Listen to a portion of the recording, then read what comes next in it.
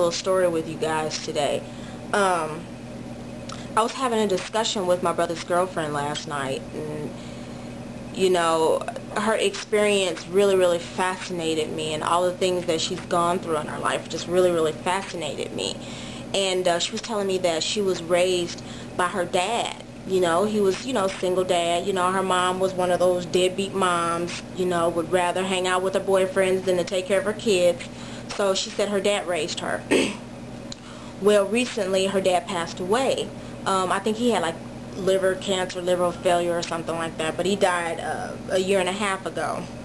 And uh, she was telling me how uh, how she just was just she had to be put into like a, a mental institution because she had had a nervous breakdown and you know she couldn't you know she was suicidal and they were getting ready to put her son into a, a foster care and he was a newborn baby. So you know just her getting over that was just a, a, a, a triumph in itself. Um, but um, she was just talking about you know her dad and how he was and how he loved toys and you know, how they would always go to like these toy stores and stuff like that. And even she said, even as, as we got older, we would always go to these toy stores and we'd play around in the toy stores and shoot each other in the toy stores. And we just, we just had a great time together, Erika. She's just like, you know, I just loved my dad. And I'm like, yeah, I bet you miss him a lot. And she told me, she says, I really don't get the chance to miss him a lot because she says he always comes around. And I'm like, what? And she was like, Erika, she says, I know what I'm about to say to you may sound a little weird, but, you know, it is what it is. She says, you know, my dad's spirit lingers in my apartment. You know, and, you know, I wasn't really surprised because I, I, I believe in that kind of stuff.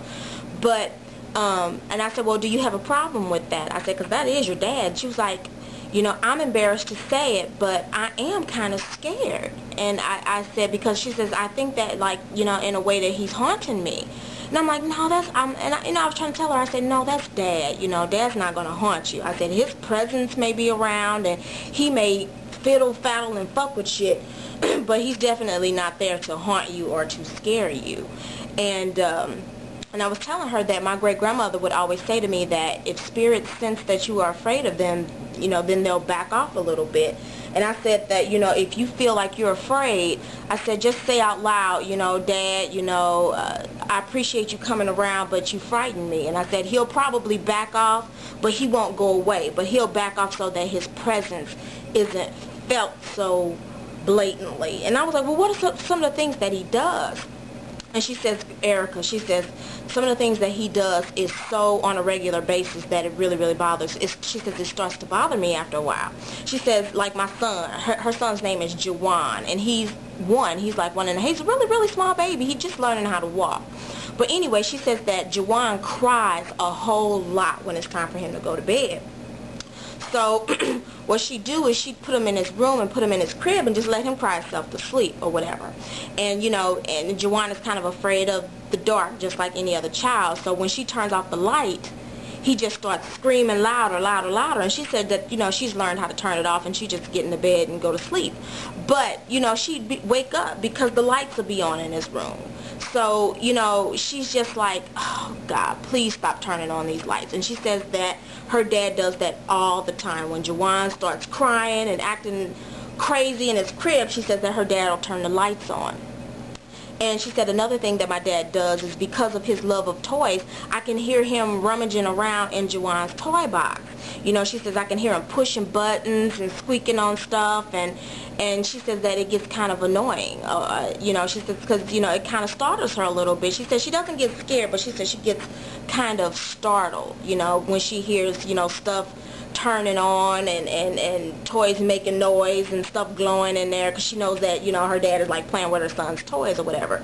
And I'm just like, you know what, I said, that's your dad. You know what I'm saying? He's going to come around you because you were his only child. You know, he raised you and you got a grandson. But yeah, I said, he's going to come around. But I told her, I said, do that thing that my great-grandmother told me to do because um, it really does work. It really does work because I had... Um, a, a instance growing up that kind of frightened me, startled me, and uh, I remember how I felt and I remember every emotion. I remember just being just petrified. And, and I remember my, my, my, my grandmother's words at the same time, and it really helped. Um, my dad had a friend that committed suicide. And although me and him weren't really, really close, he had lived with us for a few months till he got on his feet. So we would spend like 4 o'clock in the morning listening to records and just having a good time and talking about movies. So we did develop like a closeness. You know, the, you know, just my dad's friend and the daughter type closeness or whatever. But anyway, um, after he had committed suicide, uh, I remember him coming to me in a dream. Hold on one second. The dream vividly, and I remember uh, standing in my parents' window in the dream, and I'm watching him walk up the street and I remember being so petrified at just his, just watching him walk up the street because I knew he was dead. I knew he was dead.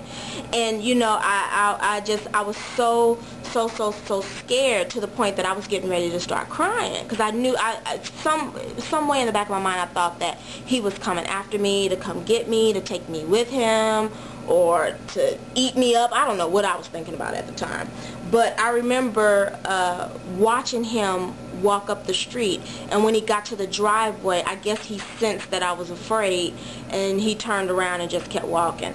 And I was so relieved I was so so relieved when he kept walking because I was like uh-uh, I can't handle this I can't handle this.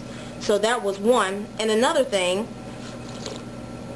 I had a dream this was recently well not necessarily recently but um, I was about 25 and I remember um, back then I used to walk a lot. I was in better shape, believe it or not. But I used to go to the park and I used to speed walk or whatever. And I remember dreaming that I'm, you know, walking at the park and I'm speed walking and stuff at this really pretty park.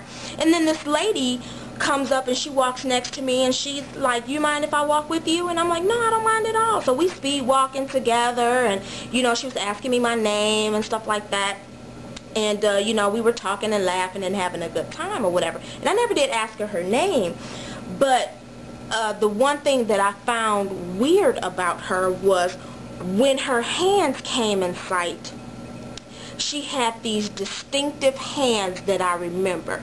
They were really small and they were kind of green and I automatically knew who she was. She was like uh, one of my childhood friends who died of leukemia and she died when she was like seven years old. Um, and the one thing I remember about her hands was at her funeral, when we were viewing the body, I asked my dad, I said, what's wrong with her hands? Why does her hands look so weird like that? And he was like, well, baby, that's what happens when you die.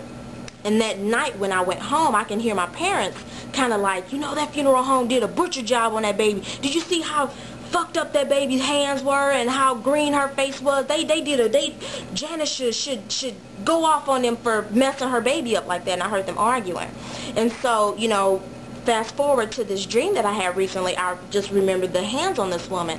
And I was kind of thinking to myself, oh, that's kind of cool. Missy came to me in her current self and I guess how she would be if she was, you know, 27, 28. Because anyway, to make a long story short, after I tell all of those stories and situations, I don't do ghosts. I don't do spirits. I don't do apparitions. I don't do nothing. So all of my family members and friends that passed on, please y'all listen to me good. Y'all wait till I get there. Okay? Peace.